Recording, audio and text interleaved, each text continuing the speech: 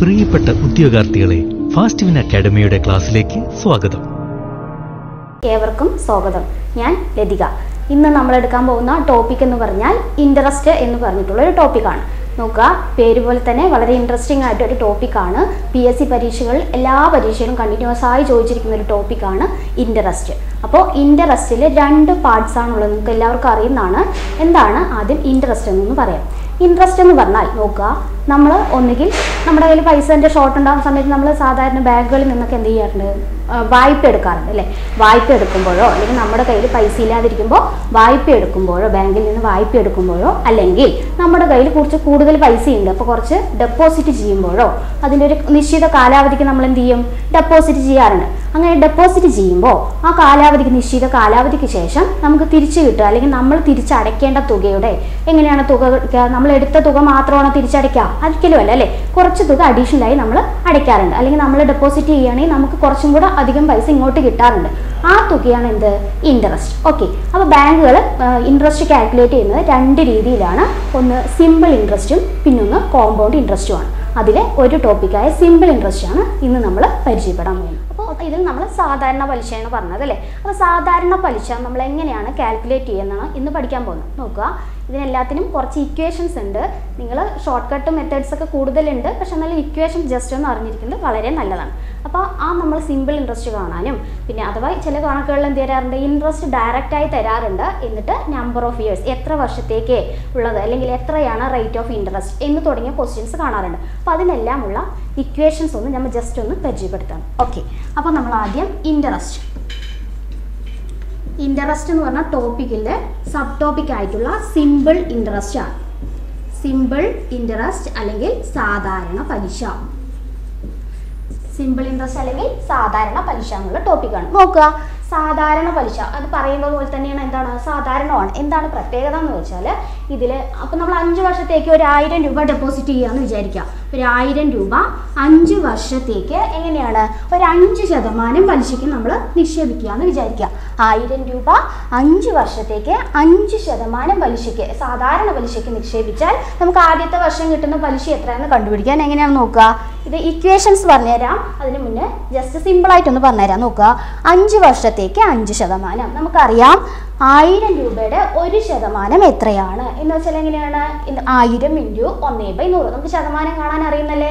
എത്ര ശതമാനമാണ് കാണുന്നത് വെച്ചാൽ അഞ്ച് ശതമാനമാണ്. സോ അപ്പം നമുക്ക് നോക്കാം. ആയിരം രൂപയുടെ അഞ്ച് ശതമാനം അല്ലേ? അഞ്ച് ബൈ നൂറ്. സീറോ സീറോ ക്യാൻസൽ ചെയ്ത്. പോകും താഴെ രണ്ട് സീറോ ഉണ്ട്. മുകളിലും രണ്ട് സീറോ കോമൺ ആയി പോകുന്ന എന്ത് ചെയ്യാം? നമുക്ക് കട്ട് ചെയ്ത് കളയാം. അപ്പോൾ ബാക്കി എന്താ വരിക? പത്ത് ഇന്റു അഞ്ച് അൻപത് രൂപ. ഓക്കെ അൻപത് രൂപ. അപ്പോൾ നോക്കുക. ഒരു സെക്കൻഡ് നോക്കുക. ഇതെന്താന്ന് പറഞ്ഞത്? പ- ആയിരം രൂപയ്ക്ക് അഞ്ച് ശതമാനം പലിശ. ഇത് എപ്പോഴത്തേക്കാണ്? സാധാരണ ഈ റേറ്റ് ഓഫ് ഇൻട്രസ്റ്റ് വരുന്നത് ഒരു വർഷത്തേക്കുള്ളതാണ്. ഓക്കെ ഈ അഞ്ച് ശതമാനം എന്ന് പറയുന്നത് ഒരു വർഷത്തേക്കാണ്. നമ്മളോട് ചോദിച്ചത് എന്താണ്? അഞ്ച് വർഷത്തേക്കുള്ളതാണ്. അപ്പം നോക്കുക ഇത് ഒരു വർഷത്തേ ആയുള്ളൂ. ഇന്റു അഞ്ച്. എത്ര വരും? ഇരുന്നൂറ്റി അൻപത് രൂപ അല്ലേ? ഇരുന്നൂറ്റി അൻപത് രൂപയാണ് ആയിരം രൂപയ്ക്ക് അഞ്ച് ശതമാനം പലിശ. എത്ര വർഷത്തേക്ക്? അഞ്ച് വർഷത്തേക്ക് ലഭിക്കുന്ന പലിശ. ഓക്കെ അല്ലേ? ഇത് നമ്മൾ ഇക്വേഷൻസ് ഇനി ഇക്വേഷൻസ് ഒന്ന് പരിചയപ്പെടാം. ഇത് സിമ്പിൾ ആണ്. ഇത് എങ്ങനെയാണ്? റൗണ്ട് ഫിഗേഴ്സ് എന്ന് പറഞ്ഞാൽ സാധാരണ ഇക്വേഷൻസ് ഒന്നും തന്നെ ആവശ്യമില്ല. നമുക്ക് അറിയാവുന്നതാണ് അപ്പോൾ ജസ്റ്റ് എന്നാലും ഇക്വേഷൻസ് ഒന്ന് പരിചയപ്പെടാം. ഇക്വേഷൻസ് നോക്കുക. സാധാരണ പലിശ സിമ്പിൾ ഇൻട്രസ്റ്റ് കാണാൻ ഇക്വേഷൻ എന്താണെന്ന് പഠിച്ചു വയ്ക്കുക P simple interest is equal to P N R by hundred ആണ്. സിമ്പിൾ ഇൻട്രസ്റ്റ് കാണാൻ ഇക്വേഷൻ ആണ് P N R by hundred ഇതിൽ പി എന്ന് പറഞ്ഞാൽ നിങ്ങൾക്ക് എല്ലാവർക്കും അറിയാവുന്നതാണ് പ്രിൻസിപ്പിൾ അതായത് ഇപ്പം നമ്മൾ ബാങ്കിൽ നിക്ഷേപിക്കുന്ന കാര്യം പറഞ്ഞല്ലോ. അങ്ങനെ ഇടുന്ന സമയത്ത് സോറി പ്രിൻസിപ്പാളല്ല പ്രിൻസിപ്പിൾ പ്രിൻസിപ്പിൾ എമൗണ്ട് ആണ്. പ്രിൻസിപ്പാൾ എന്ന് പറഞ്ഞാൽ അറിയാലോ അത് നമ്മൾ സ്കൂളിലേക്കുള്ള പ്രിൻസിപ്പാളാണ് ഇത് പ്രിൻസിപ്പൾ എമൗണ്ട് ആണ്. ഓക്കെ അല്ലേ? അടുത്തത് എൻ എന്താണ്? Number of years number of number of years ആണ്. ആർ എന്താ? Rate of interest rate of interest ആണ്. എന്ന് വെച്ചാൽ ഇതെന്താണ്? പ്രിൻസിപ്പൽ എന്ന് പറഞ്ഞാൽ നമ്മൾ നമ്മൾ കാണുന്ന തുക. ഇത്ര രൂപ നിക്ഷേപിച്ചു. ആ തുകയാണ് പ്രിൻസിപ്പൽ എന്ന് പറയുക എൻ എന്ന് പറഞ്ഞാൽ നമ്പർ ഓഫ് ഇയേഴ്സ് എത്ര വർഷത്തേക്കാണ് നിക്ഷേപിക്കുന്നത്? അതാണ് എൻ ആർ എന്ന് പറഞ്ഞാൽ റേറ്റ് ഓഫ് ഇൻട്രസ്റ്റ് എത്ര ശതമാനം പലിശ നിരക്കിൽ? പലിശ നിരക്ക് ആണ് എന്നുകൊണ്ട് ഉദ്ദേശിക്കുന്നത്. ഓക്കെ അല്ലേ? ഇനി നോക്കുക. ഇനി ഈ ഇക്വേഷൻ വെച്ചിട്ട് നമുക്കൊരു പ്രോബ്ലം ചെയ്യാം. ഓക്കെ അല്ലേ? നോക്കുക. ആറായിരത്തി അഞ്ഞൂറ് രൂപ. ആറായിരത്തി അഞ്ഞൂറ് രൂപ രണ്ടര ശതമാനം സാധാരണ പലിശ നിരക്ക്. രണ്ടര ശതമാനം സാധാരണ പലിശ നിരക്കിൽ നിക്ഷേപിച്ചാൽ നാല് വർഷങ്ങൾക്ക് ശേഷം ലഭിക്കുന്ന തുക എത്രയാണെന്നൊരു ക്വസ്റ്റ്യൻ ചോദിക്കുകയാണ്. എങ്ങനെയാണ്?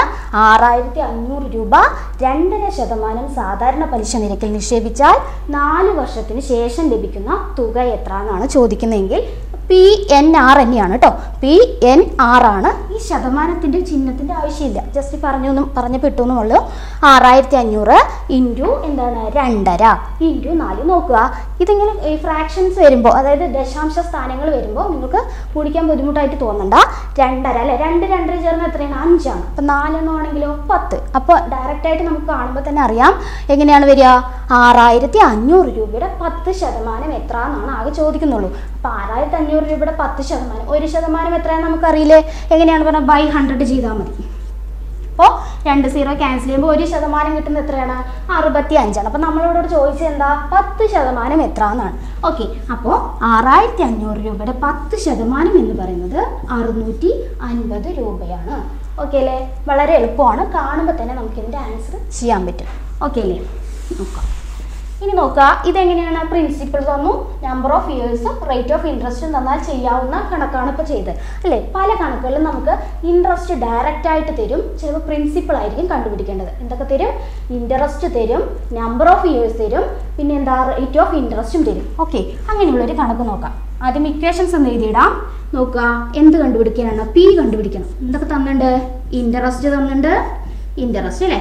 അപ്പോൾ എങ്ങനെയാണ് കണ്ടുപിടിക്കുന്നത് നോക്കാം? Interest into hundred okay number of years തന്നിട്ടുണ്ട് പിന്നെ എന്തുണ്ട് റേറ്റ് ഓഫ് ഇൻട്രസ്റ്റും തന്നിട്ടുണ്ട്. അപ്പോൾ ബൈ താഴെ എന്ത് ചെയ്യുക ആ തന്നിരിക്കുന്ന രണ്ടെണ്ണത്തിനെടുത്ത് എഴുതാം. അപ്പോൾ പ്രിൻസിപ്പിൾ കാണാൻ I into hundred by N into R ആണ്. എന്നിന്റെ ആർ എൻ ആർ എന്ന് എഴുതിയാൽ എന്താ മീനിങ് ഓർത്ത് വയ്ക്കുക ഇന്റു എന്നാണ് മീനിങ് ഓക്കെ ഇനി നോക്കുക.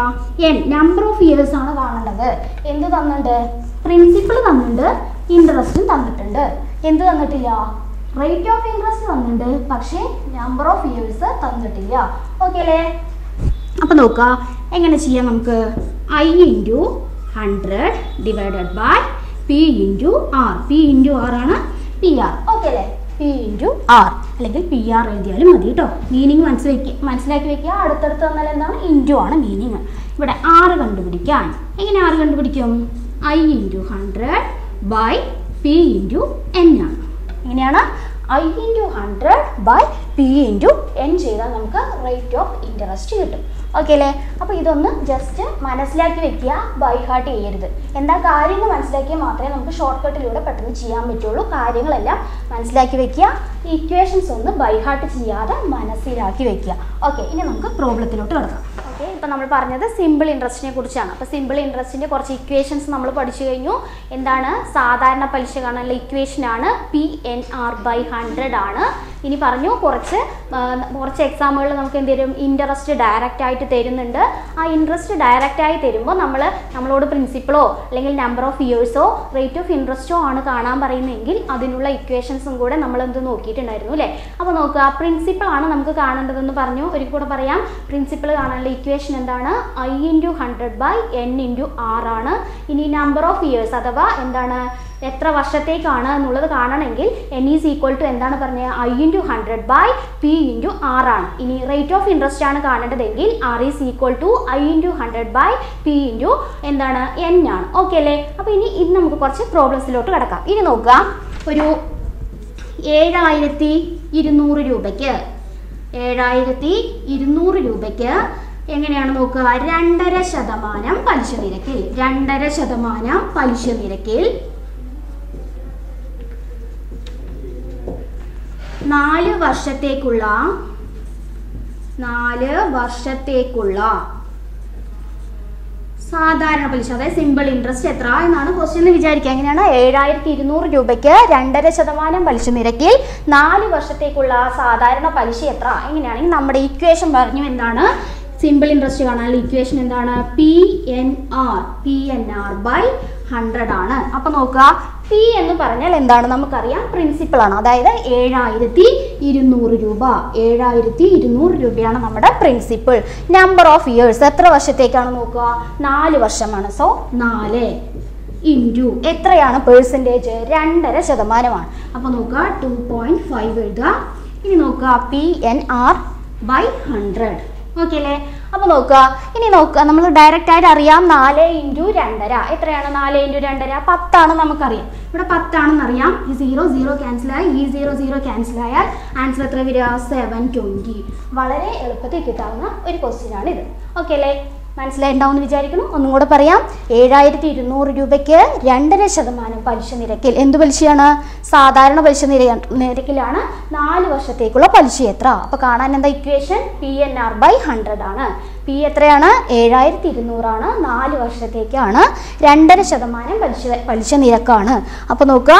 എങ്ങനെ കിട്ടിയ ആൻസർ ഇത് നോക്കുക കോമൺ ആയി പോകുന്ന. സീറോസ് ഒക്കെ ക്യാൻസൽ ചെയ്യുക. ഇവിടെ നോക്കുക നാല് ഇന്റു ഈ ഫ്രാക്ഷൻ വരുമ്പോൾ നിങ്ങൾ ശ്രദ്ധിക്കുക. അതിന് നമ്മൾ എന്ത് ചെയ്യുക? ഈ റേറ്റ് ഓഫ് ഇൻട്രസ്റ്റ് ഫ്രാക്ഷനിലാണ് വരുന്നതെങ്കിൽ അതിന് എന്ത് ചെയ്യുക? നമ്പർ ഓഫ് ഇയേഴ്സ് കൊണ്ട് മൾട്ടിപ്ലൈ ചെയ്യുക. ഫ്രാക്ഷൻ അവിടെ നിന്ന് കട്ട് ചെയ്ത് പോകുന്നതാണ് കേട്ടോ. അപ്പോൾ എന്ത് ചെയ്യുക? അവിടെ ടെൻ ആണെന്ന് മനസ്സിലാക്കുക. അപ്പോൾ സീറോസ് ഒക്കെ കോമൺ ആയി വരുന്ന സീറോസ് കട്ട് ചെയ്യുക. ബാക്കി വരുന്നത് എഴുന്നൂറ്റി രൂപ എന്നാണ്. നോക്കുക. ഓക്കെ നെക്സ്റ്റ് ക്വസ്റ്റ്യൻ നോക്കാം.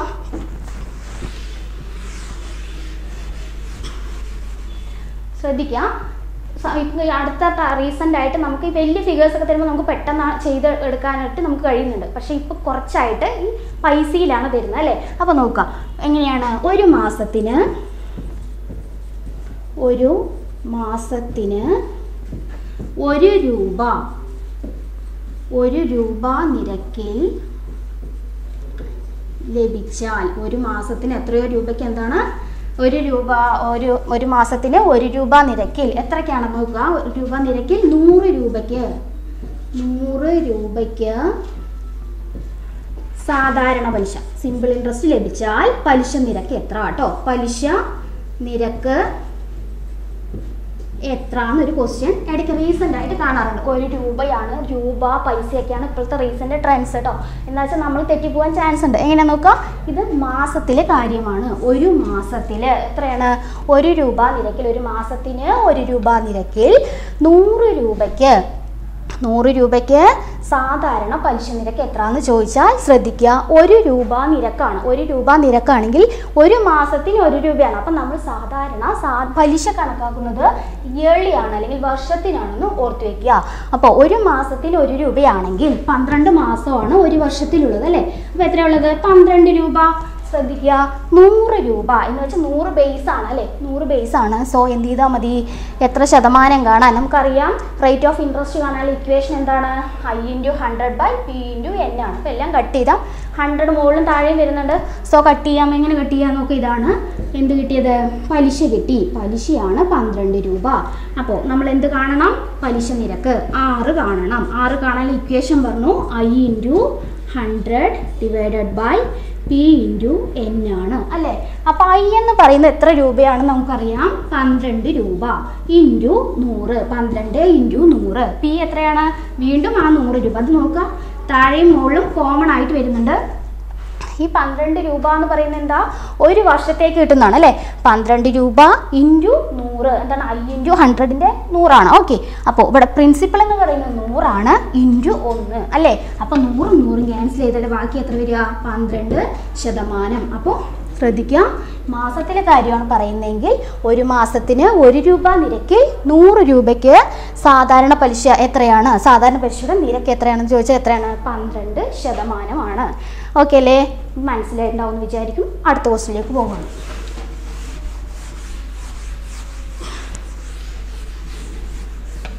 അടുത്തൊരു ക്വസ്റ്റ്യൻ നോക്കാം. നോക്കാം കേട്ടോ ഇരുപത്തി നാലായിരം രൂപയ്ക്ക്. ഇരുപത്തി നാലായിരം രൂപയ്ക്ക് പന്ത്രണ്ട് ശതമാനം പലിശ നിരക്കിൽ ഒൻപത് മാസത്തേക്ക് ഒൻപത് മാസത്തേക്ക് ലഭിക്കുന്ന പലിശ.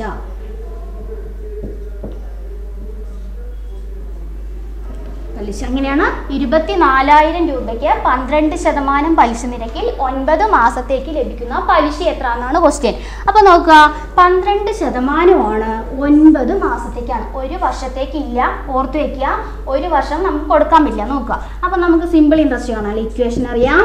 P N R by hundred ആണ്.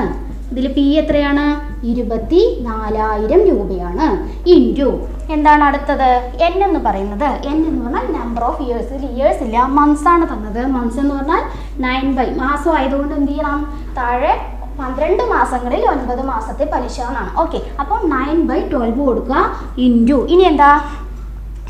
ആറ് എത്രയാണ് നോക്കാം? പന്ത്രണ്ട് ശതമാനം. ആണല്ലോ? പന്ത്രണ്ട് ശതമാനമാണ്. ഓക്കെ അല്ലേ? ഇനി നോക്കുക. ഇത് ബൈ ഹൺഡ്രഡ് ആണ്. P N R by hundred ആണ്. ഉള്ളത് അല്ലെ? നമ്മുടെ ഇക്വേഷൻ എന്താണ്? പി എൻ ആർ എൻ ആയിട്ട് എടുക്കുന്നത് എന്താണ്? ഒൻപത് ബൈ പന്ത്രണ്ടാണ് ആർ എത്രയാണ്? പന്ത്രണ്ടാണ് അപ്പോൾ ഓക്കെ അല്ലേ? ഇനി നോക്കുക. ഇനി നമുക്ക് എന്താണ് ചെയ്യേണ്ടത് വെച്ചാൽ ഒരു ഇത് ഒരു ഭിന്നസംഖ്യയാണ് താഴെ ഒരു ഹൺഡ്രഡ് ആണ്. അപ്പം നമ്മൾ എന്ത് ചെയ്യണം? ഒരു ഭിന്നസംഖ്യ താഴെ ഒരു സാധാ സംഖ്യയാണ്. അപ്പം നമ്മൾ എന്ത് ചെയ്യുക ഇതിന് ഫോം എങ്ങനെയാണ്? വെറുതെ ഹൺഡ്രഡ് തന്നാൽ ഹൺഡ്രഡ് ബൈ വൺ എന്നാണ്. അപ്പം നോക്കുക. ഭിന്നസംഖ്യകളെ തമ്മിൽ ഹരിക്കുക എന്ന് പറഞ്ഞാൽ എന്താണ് അതിന്റെ അർത്ഥം? തിരിച്ചിട്ട് ഗുണിക്കുകയാണ്. അല്ലേ? അപ്പം നോക്കുക. നമുക്കിതിനെ ഒന്നും കൂടെ എഴുതാം. ഇരുപത്തി നാലായിരം ഇന്റു ഒൻപത് ബൈ പന്ത്രണ്ട് ഇന്റു പന്ത്രണ്ട്. ഇത് തിരിച്ചിങ്ങോട്ട് വരികയാണ്. അപ്പോൾ വൺ ബൈ ഹൺഡ്രഡ് ആ ഹൺഡ്രഡ് ആണ് ഇത് എഴുതുന്നത് കേട്ടോ. ഈ വൺ ബൈ ഹൺഡ്രഡിന്റെ ഹൺഡ്രഡ് ആണ്. തിരിച്ചു വരുമ്പോൾ വണ്ണിന് വാല്യൂ ഇല്ല. സോ ഇങ്ങനെ എഴുതാം. ഓക്കെ അല്ലേ? ഇനി നോക്കുക പന്ത്രണ്ടും പന്ത്രണ്ടും ക്യാൻസലായി എന്തായി? നൂറും നൂറും പോയി. ബാക്കി എന്താ വരും? ഇരുപത്തി നാല് ഇന്റു ഒൻപത് എത്രയാണ്? ഒമ്പത് നാല് മുപ്പത്തി ആറ് ബാക്കി മൂന്ന് ഇരുപത് പതിനെട്ടും മൂന്നും ഇരുപത്തി ഒന്ന് ഒരു സീറോ ബാലൻസ് ഉണ്ട്. അതെടുത്ത് എഴുതുക. അപ്പോൾ എത്ര രൂപയാണ് പലിശ കിട്ടുക? രണ്ടായിരം ഇരുപത്തി നാലായിരം രൂപയ്ക്ക് ഒൻപത് മാസത്തേക്കുള്ള പലിശ എന്ന് പറയുന്നത് രണ്ടായിരത്തി ഒരുന്നൂറ്റി അറുപത് രൂപയാണ്. നോക്കാം. അടുത്തൊരു ക്വസ്റ്റ്യൻ നോക്കാം. അടുത്തൊരു ക്വസ്റ്റ്യൻ നോക്കാം. മുപ്പത്തി ആറായിരത്തി അഞ്ഞൂറ് രൂപയ്ക്ക് മുപ്പത്തി ആറായിരത്തി അഞ്ഞൂറ് രൂപയ്ക്ക് പത്ത് ശതമാനം സാധാരണ പലിശ നിരക്കിൽ സാധാരണ പലിശ നിരക്കിൽ രണ്ടായിരത്തി പതിമൂന്ന് ഫെബ്രുവരി ഒൻപത് മുതൽ. രണ്ടായിരത്തി പതിമൂന്ന് ഫെബ്രുവരി ഒൻപത് മുതൽ ഏപ്രിൽ ഇരുപത്തിരണ്ട് വരേക്കുള്ള വരേക്കുള്ള സാധാരണ പലിശ എത്ര? സാധാരണ പലിശ എത്ര? ശ്രദ്ധിക്കുക. മുപ്പത്തി ആറായിരത്തി അഞ്ഞൂറ് രൂപയ്ക്ക് പത്ത് ശതമാനം സാധാരണ പലിശ നിരക്കിൽ. എങ്ങനെയാണ്? മുപ്പത്തി ആറായിരത്തി അഞ്ഞൂറ് രൂപയ്ക്ക് പത്ത് ശതമാനം സാധാരണ പലിശ നിരക്കിൽ രണ്ടായിരത്തി പതിമൂന്ന് ഫെബ്രുവരി ഒൻപത് മുതൽ. രണ്ടായിരത്തി പതിമൂന്ന് തന്നെയാണ് ഏപ്രിൽ ഇരുപത്തിരണ്ട് വരത്തേക്കുള്ള സാധാരണ പലിശ എത്ര എന്നാണ് ക്വസ്റ്റ്യൻ ഓക്കെ അല്ലേ? അപ്പോൾ നോക്കുക ഇതിലെന്താണ് പ്രത്യേകത? ഇത്ര നേരം ചെയ്തത് നമ്മൾ ഒന്നുകിൽ ഇയറിന്റെ ക്വസ്റ്റ്യൻ ആണ് അല്ലെങ്കിൽ മന്തിലേക്കുള്ളതാണ് ഇതെങ്ങനെയാണ് ഡേയ്സ് വെച്ച് കാൽക്കുലേറ്റ് ചെയ്യേണ്ടതാണ്. ഓക്കെ അല്ലേ? അപ്പോൾ നമ്മൾ ഇതിനു മുന്നേ ഒരു വീഡിയോ ചെയ്തിട്ടുണ്ടായിരുന്നു കാലണ്ടർ പറഞ്ഞൊരു ചാപ്റ്റർ അപ്പോൾ നോക്കുക അത് കാണാത്തവരുണ്ടെങ്കിൽ കണ്ടുകൊള്ളാം ഓക്കെ അല്ലേ? എങ്ങനെയാണ് ഡേയ്സ് കാൽക്കുലേറ്റ് ചെയ്യാൻ നോക്കുക. എത്ര ദിവസത്തേക്കുള്ള പലിശയാണ് കണക്കാക്കേണ്ടത് നോക്കുക. രണ്ടായിരത്തി പതിമൂന്നാണ്. വർഷം ഏതാണെന്ന് ശ്രദ്ധിച്ചു നോക്കുക രണ്ടായിരത്തി പതിമൂന്ന് സാധാരണ വർഷമാണ്. രണ്ടായിരത്തി പതിമൂന്ന് ഫെബ്രുവരി ഒൻപത് മുതൽ നോക്കുക രണ്ടായിരത്തി പതിമൂന്നാകുമ്പോൾ ഫെബ്രുവരിയിൽ എത്ര ദിവസം ഉണ്ടാവുക? ഇരുപത്തി എട്ട് ദിവസമാണ് ഫെബ്രുവരിയിൽ ഉണ്ടാവുക. അപ്പോൾ നോക്കുക അതിൽ ഒൻപതാം തീയതി മുതലാണ്. ശ്രദ്ധിക്കേണ്ട ഒരു കാര്യം എന്താ വെച്ചാൽ നമ്മൾ വല്ല ലോൺ എടുക്കുന്ന സമയത്ത് എടുത്ത ദിവസത്തിനും കൂടെയുള്ള പലിശ നമ്മൾ എന്ത് ചെയ്യും? കൊടുക്കണം. ഓക്കെ അല്ലേ? അപ്പോൾ ഫെബ്രുവരിയിൽ മൊത്തം ദിവസം ഇരുപത്തി എട്ട് ദിവസമാണ് സാധാരണ വർഷമായതുകൊണ്ട് കേട്ടോ. അപ്പൊ ഇരുപത്തെട്ട് ദിവസങ്ങളിൽ എന്ത് ചെയ്യണം? എട്ട് ദിവസത്തെ പലിശ നമുക്ക് കൊടുക്കേണ്ട ആവശ്യമില്ല. ഒൻപതാം തീയതിയാണ് നമ്മൾ എന്ത് ചെയ്യുന്നത് ഈ പലിശ അങ്ങോട്ട് എന്ത് ചെയ്യുക ഒമ്പതാം തീയതി ലോൺ എടുക്കുന്നുണ്ട്. അന്നത്തേക്ക് കൂടെയുള്ള പലിശ നമ്മൾ കാൽക്കുലേറ്റ് ചെയ്യണം. ഓക്കെ അല്ലേ? ഇപ്പോൾ ഫെബ്രുവരി ഇരുപത്തിയെട്ട്. ഇരുപത്തെട്ട് ദിവസം മൊത്തമുണ്ട്. അതിൽ എട്ട് ദിവസം വേണ്ട. ബാക്കിയുള്ള ഇരുപത് ദിവസത്തേക്കുള്ള പലിശ നമ്മൾ ആ മാസത്തെ അടയ്ക്കണം ഓക്കെ അല്ലേ? ഫെബ്രുവരി. അടുത്തത് മാർച്ച്. മാർച്ച് അറിയാം നമുക്ക് എത്ര ദിവസം ഉള്ളത് മുപ്പത്തി ഒന്ന് ദിവസം. ഏപ്രിൽ ഇരുപത്തി രണ്ട് ദിവസം. ശ്രദ്ധിക്കുക. നമ്മൾ എപ്പോഴാണ് ലോൺ ക്ലോസ് ചെയ്യുന്നത് അന്നത്തേക്കും കൂടെയുള്ള പലിശ നമ്മൾ സാധാരണ അടയ്ക്കണം കേട്ടോ. ശ്രദ്ധിച്ചിരുന്നോളൂ. അപ്പോൾ നോക്കുക എടുത്ത ദിവസത്തെ പലിശയും കണക്കാക്കണം. എന്നാണോ ക്ലോസ് ചെയ്യുന്നത് അന്നത്തേക്കുള്ള പലിശയും കൂടെ നമ്മൾ അടയ്ക്കണം. അപ്പോൾ എത്ര ദിവസമുണ്ട്? മൊത്തം നോക്കുക. രണ്ട് ഒന്ന് മൂന്ന് രണ്ട് രണ്ട് നാല് മൂന്നും ഏഴ്. എഴുപത്തി മൂന്ന് ദിവസമാണ് ഉള്ളത്. എത്രയാണ്? എഴുപത്തി മൂന്ന് ദിവസമാണ് ഉള്ളത്. ഓക്കെ അല്ലേ? ഇതാണ് നമ്മുടെ എന്ത്? എൻ ഓക്കെ അപ്പോൾ P N R by hundred P എത്രയാണ്? മുപ്പത്തി ആറായിരത്തി അഞ്ഞൂറ് ഇന്റു എൻ എന്ന് പറയുന്നത് എഴുപത്തി മൂന്ന് ദിവസം. മൊത്തം എത്ര ദിവസം ഉണ്ടെന്ന് പറഞ്ഞു? ഒരു വർഷത്തിലുള്ള ദിവസം. സാധാരണ വർഷമായതുകൊണ്ട് മുന്നൂറ്റി അറുപത്തി അഞ്ച് ദിവസം. എൻ പി കിട്ടി എൻ കിട്ടി. ആർ എത്ര പറഞ്ഞു? പത്ത് ശതമാനം. Into P N R by sorry into അല്ല by P N R by hundred ചെയ്യണം പറഞ്ഞു. ഇതൊരു ഭിന്നസംഖ്യ ഉള്ളത് കൊണ്ട് ഇതിന് എന്ത് ചെയ്യാം? തിരിച്ചിട്ട് അങ്ങോട്ട് ഗുണിക്കുകയാണ്. അപ്പം എന്ത് ചെയ്യാം നമുക്ക്? ഇന്റു ഹൺഡ്രഡ് ഇവിടെ നിന്ന് എടുക്കാം. ഛേദത്തിലേക്ക് എടുത്താൽ മതി. ഓക്കെ അല്ലേ? നോക്കുക. മുന്നൂറ്റി അറുപത്തഞ്ചും മുന്നൂറ്റി അറുപത്തഞ്ചും ക്യാൻസലായി എത്ര തവണ? ഒരു തവണ. ഇവിടെ ഒരു നൂറുണ്ട്. ഇവിടെ ഒരു നൂറുണ്ട്. ഇനി എന്താ ഉള്ളത് നോക്കുക? എഴുപത്തി മൂന്ന് ഇന്റു പത്ത്. എഴുന്നൂറ്റി മുപ്പത് രൂപ. എത്രയാണുള്ളത്? എഴുന്നൂറ്റി മുപ്പത് രൂപ. ശ്രദ്ധിച്ചിരിക്കുക.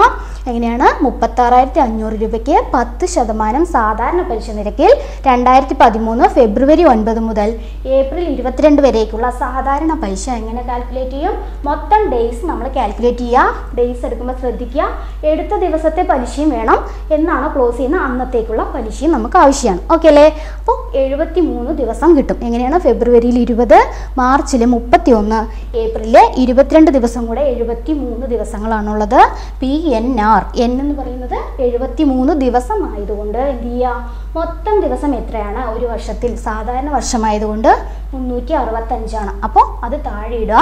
ഇന്റു എന്താണ്? പി എൻ ആർ ഒന്ന് പത്ത് ഡിവൈഡഡ് ബൈ എന്താണ്? ബൈ ഹൺഡ്രഡിന്റെ ഹൺഡ്രഡ് നോക്കുക തിരിച്ചിട്ട് ഗുണിച്ചിരിക്കുകയാണ്. ഈ ഹൺഡ്രഡ് ഇവിടെ അടുത്ത് എഴുതിയിരിക്കുന്നത്. ഓക്കെ അല്ലേ? ഇനി കോമൺ ആയി പോകുന്ന എല്ലാ നമ്പേഴ്സും കട്ട് ചെയ്യുമ്പോൾ ബാക്കി വരുന്നത് എഴുപത്തി മൂന്ന് ഇന്റു പത്താണ്. എത്രയാണ് വരിക? എഴുന്നൂറ്റി മുപ്പതാണ് ഓക്കെ അടുത്തൊരു പ്രോബ്ലം കൂടെ നമുക്ക് ചെയ്യാം. നോക്കാം.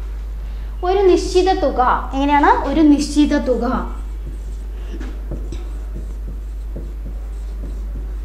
ഒരു നിശ്ചിത തുക. സാധാരണ പലിശ നിരക്കിൽ ഒരു ബാങ്കിൽ ഒരു ബാങ്കിൽ നിക്ഷേപിച്ചപ്പോൾ ഒരു ബാങ്കിൽ നിക്ഷേപിച്ചപ്പോൾ അഞ്ച് വർഷം കൊണ്ട് അഞ്ച് വർഷം കൊണ്ട് ഇരട്ടിയായി. ഇരട്ടിയായി. എങ്കിൽ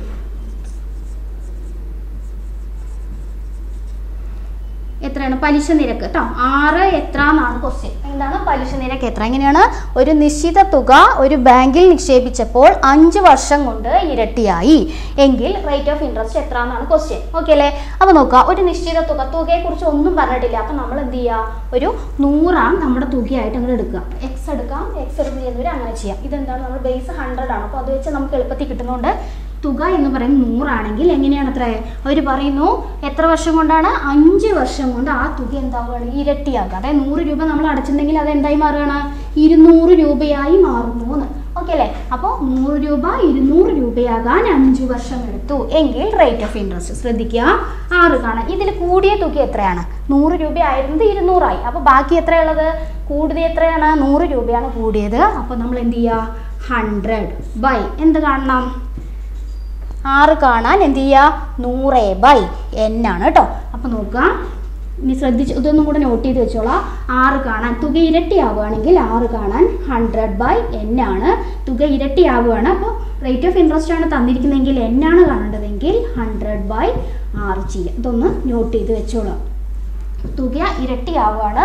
റേറ്റ് ആണ് കണ്ടുപിടിക്കേണ്ടതെങ്കിൽ നൂറ് ബൈ എന്നും തുക ഇരട്ടിയാകുന്ന സമയത്ത് നമ്പർ ഓഫ് ഇയേഴ്സ് ആണ് കാണേണ്ടതെങ്കിൽ നൂറ് ബൈ ആറും കൊണ്ട് എന്ത് ചെയ്യാൻ മതി മൾട്ടിപ്ലൈ ചെയ്താൽ നമുക്ക് ആൻസർ കിട്ടുന്നതാണ്.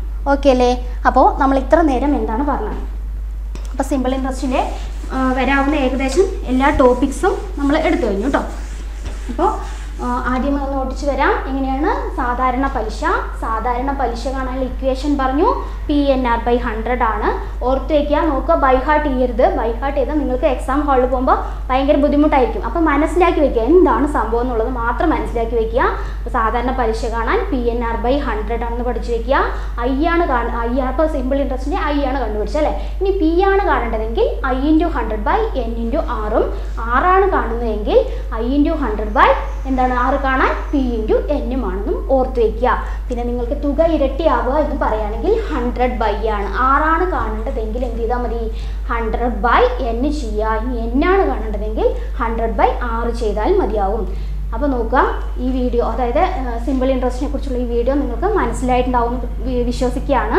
ഇനി ഈ ഈ വീഡിയോ നിങ്ങൾക്ക് ഇഷ്ടമാവുകയാണെങ്കിൽ ലൈക്ക് ചെയ്യുക ഷെയർ ചെയ്യുക. നിങ്ങൾക്ക് ഈ വീഡിയോയെക്കുറിച്ചുള്ള അഭിപ്രായങ്ങൾ കമന്റ് ബോക്സിൽ എഴുതാവുന്നതാണ്.